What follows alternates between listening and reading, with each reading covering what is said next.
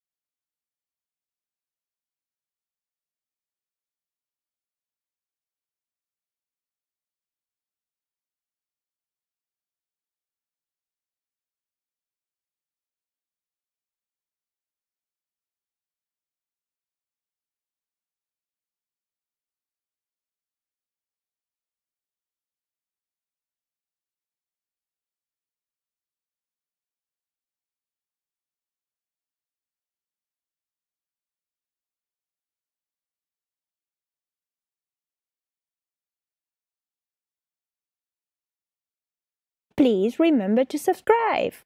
Comment below on any questions you may have and please remember to subscribe.